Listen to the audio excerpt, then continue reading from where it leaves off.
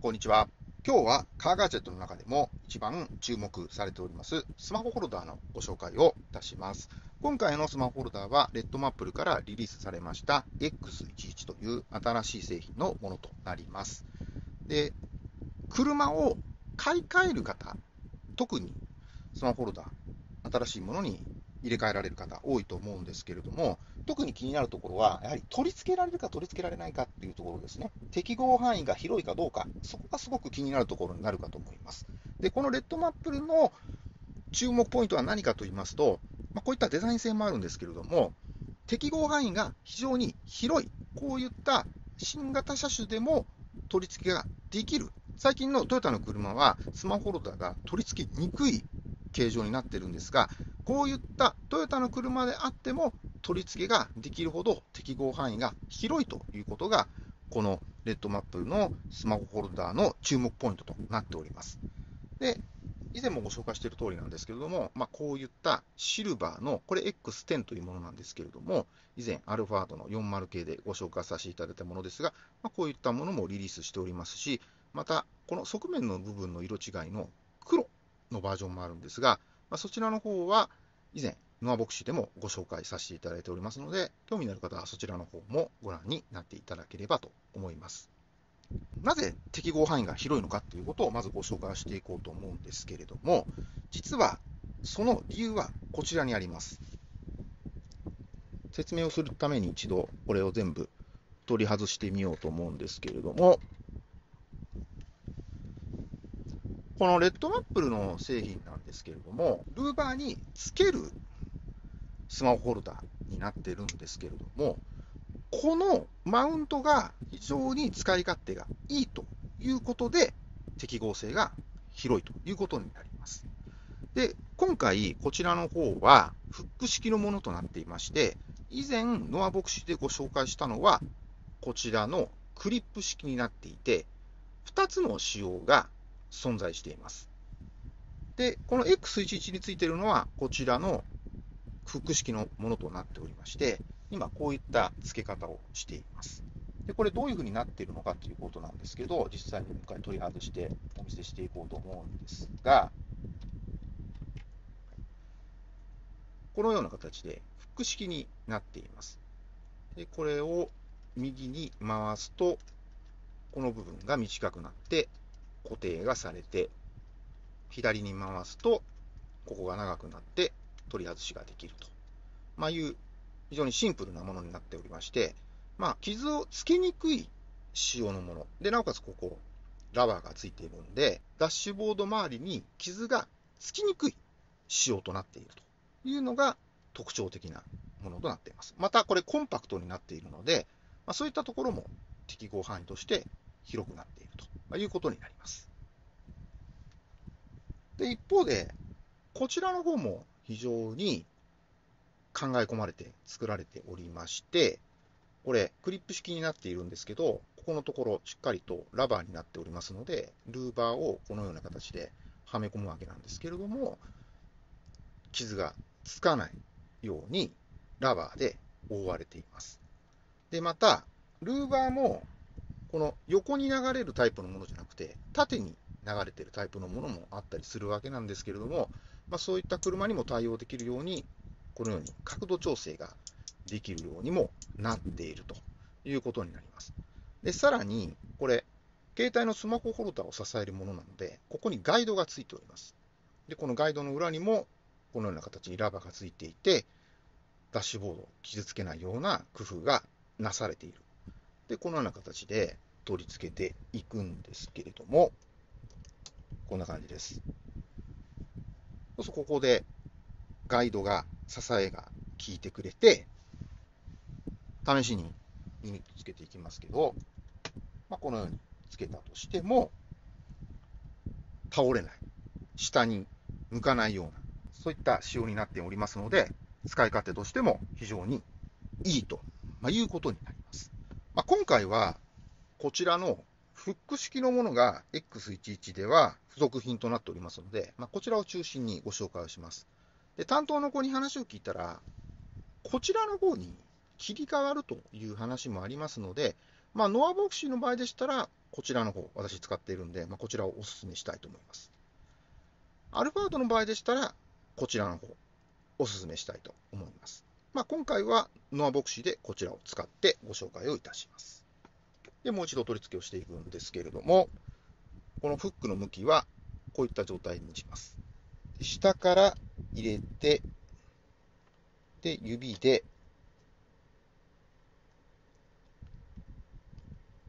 引っかかるようにしておいて、で、締めていきます。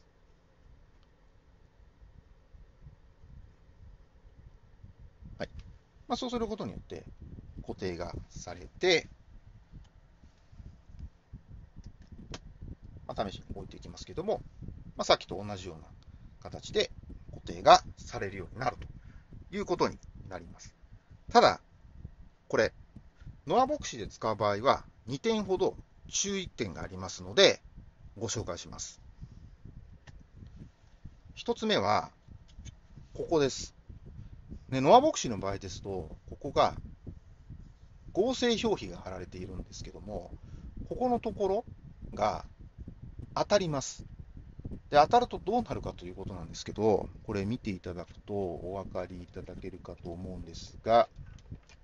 このように、跡がね、ついちゃうんですよ。それなんでかっていうと、ここ、楕円形状になって出っ張っちゃってるっていうのがあります。なので、ここのところがちょっと干渉しちゃうっていうのはちょっとあるんで、もし干渉するのが嫌だよねっていう場合は、ここをちょっと削っていただいた方がよろしいかと思います。まあ、そうすることによって、ここの干渉というのが、まあ、抑えられて、まあ、より気持ちよく使っていただけるんじゃないかと思います。もう特にそこまで気にしてないよという方はいいんですけれども、やっぱり当然気にされる方もいらっしゃると思いますので、まあ、その場合は、ここのところを少し削っていただいた方がいいかと思います。でもう一度取り付けていきます。はい。まあ、こんな感じでそうするとやっぱりここがちょっと当たっちゃうということですね。それがまず1点目になります。で、もう1点目なんですけれども、レッドマップルのスマホホルダーって、ここの部分に出っ張りがあります。まあ、こちらの X10 もそうなんですけど、このように出っ張りがあります。で、そのまま取り付けるとどうなるかというと、こう横見ていただきたいんですけれども、ここのパネルのスイッチ、これシートヒーターのスイッチなんですけども、ここに干渉してしまいます。なので、ここにラバーをつけていただいた方がよろしいかと思います。そのまま使ってしまうと、ここのスイッチに傷をつける原因になってしまうということもありますので、まあ、そこを気にされる方はラバーをつけて対応していただく。まあ、そうしますと、スマートに取り付けができると、まいうことになります。次にこのクリップ式の取り付け例をご紹介していこうと思うんですけど、私これ使ってます。ノアボクシーはね、こっちの方がいいです。で、これはもう、先ほどもご紹介したんですけど、そのままクリップ、こうはめていただければ OK です。で、あとはもう、こちら、ナットをかまして、で、ここ、はめ込むと。で、ボールジョイントになってますんで、で、そこを固定してやる。はい。これで、取り付け完了と。で、しかも、先ほどの懸念していた、ここの干渉なんですけど、このガイドで逃がしてくれるんですよね。だからね、こっちの方がね、すごくいい。で、また、このままつけても、ここの合成表記の部分、ここにも当たりませんので、なので、ノアボクシーの方はこっちの方が、まあ、お勧めできるということで、まあ、今後、こちらのクリップに変わるということなので、一度購入されるときにサポートの方、Amazon でもサポートありますんで、そこで一度クリップ式がついてくるのかどうかっていうのを購入する際、確認された方がよろしいかなと。思います。あとはこちらの特徴的なところをご紹介していこうと思います。まず何と言いましても、こちらの方はスケルトンになっているということで、今までこういったものではなくて、こちらのピアノブラックになった仕様のものになっています。まあ、両方ともこう iPhone ユーザーにとってはものすごく好まれるデザインになってるわけなんですけど、こっちはさらにスケルトンになったということで、まあ、私も好みあると思うんですけども、まあ、こっち結構いいなと目を引く、目を引くデザインでいいなというところと、ずさんな作りをしてるんじゃないのかっていうのが、やはりこう中国製品のイメージあるかと思うんですけれども、このスケルトンになることによって、中身が丸見えになるので、なかなかこうずさんな作りっていうのが細部でできなくなるということもあります。なので、この品質にはものすごく自信があるという、現れという意味においての、まあ、デザインということもあると思いますので、まあ、そういう意味においては非常にいいものになってるんではないかなと思います。もう一つは電動タイプになっておりますので、スマホを置いたときに、勝手にこのようにチャックが動いてくれて固定をしてくれます。で、さらにこちら、静電タッチ式になっておりますので、タッチしただけでこう開いて、